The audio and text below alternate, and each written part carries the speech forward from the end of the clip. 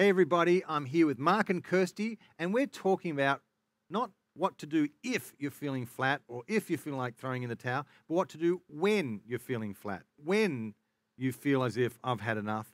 There are things that we can do to encourage ourselves in the Lord. And Mark and Kirstie are up through chatting with them. They've got a couple of things that they do, which I found really inspiring, and I think they'll help you.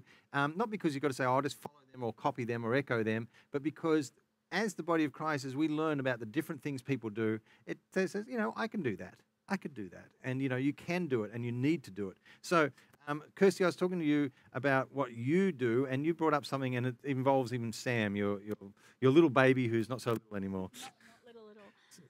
Yeah, so what do you do? Um, well, I when I suppose when situations arrive and, and different things arise in our lives, I do think back to the um, good things that God has done for us and the promises He's fulfilled.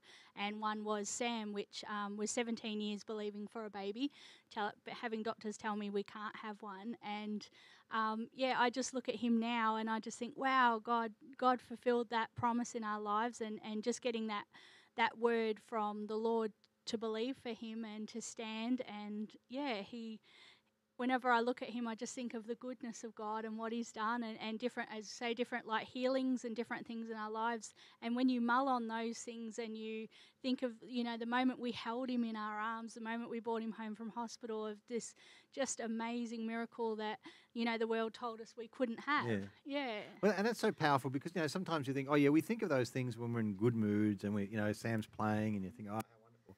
But, you know, there's a difference sometimes when you say, I'm actually choosing to think about these things, and I'm choosing to remember when he's in my arms, and I'm choosing to remember because right now the enemy's telling me this will never happen. And you spoke the same things before we had Sam. You're a liar then, and you're a liar now. And so it's a matter of sort of actually recalling those things on purpose, and they don't always come naturally at those times. Do you find sometimes I'm going to think about this on purpose? Yes. Well, I have to actually tell myself to stop thinking about the negative as well. Like, you really have to make that decision because those thoughts come very naturally, like to start mulling on and then note, note, and cross over to the good things.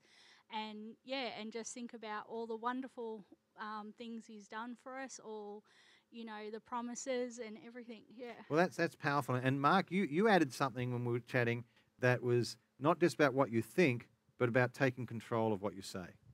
Absolutely. Um, I, I, guess that's been a life lesson for me. Um, and I, I, guess the first encounter I had where I realized how powerful the tongue was was when I was diagnosed with um, with um, was it a stretched tendon? Tendonitis, yeah, tendonitis in my arm, and I was told that um, I needed an, an, operation and that um, there's a 50% chance it wouldn't work. And I went home and I was feeling sorry for myself. So I called some people up and told them. And they came over and had a little pity party with me and told me they'd take me to hospital and get the operation. And I was feeling really depressed because I was speaking the problem. And Kirstie came home and I told her, and my little lip was quivering as I was speaking to her. And she yelled at me and said, Whose report are you going to believe? And uh, I'm thinking, the pain was intense, and I'm thinking it's all right for you. You're not the one in pain here. But she was right, and I, deep down I knew that. And that I, makes it worse, doesn't it? It does. It's, it's, it's one thing being corrected. It's it's worse when you know they're right, and, and, you could have done it yourself, but you just didn't. Yeah, exactly. So um, she, I'd been watching TV too, secular TV, and she said, "No, you need to stop that."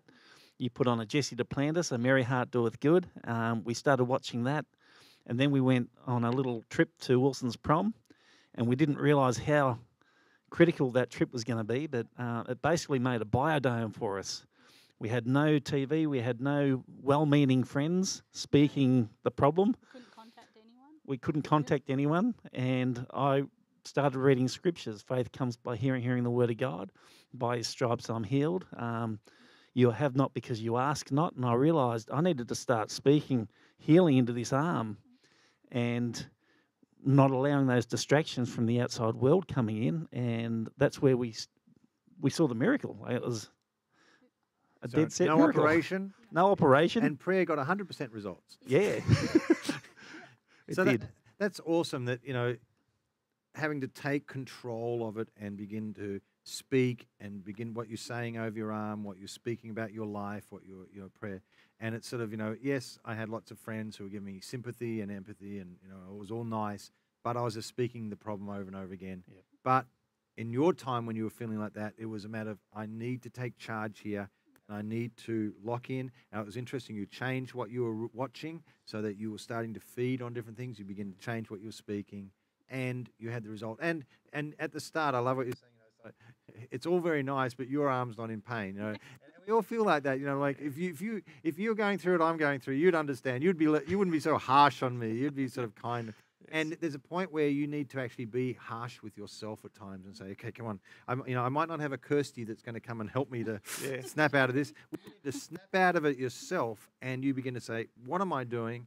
There's a way through this, but I've got to feed on some stuff. I've got to change what I'm speaking, and you know, it's not, you know, not not an overnight thing, but it was uh, um, not too long before that took effect, and you've got the breakthrough. So, when you're feeling discouraged, well, you can recall to your mind and, and re- think about all the times when God has come through and learn from that and meditate. and Let that let your heart go big with that. And at times take charge of what you're saying and, and the things that you're, you're feeding your mind so that you can um, come back to this with strength and, and, and, and faith and not just be sitting there in fear and, and, and self pity. So thank you guys for sharing. I really appreciate that. And I trust that's been an encouragement to you. God bless you.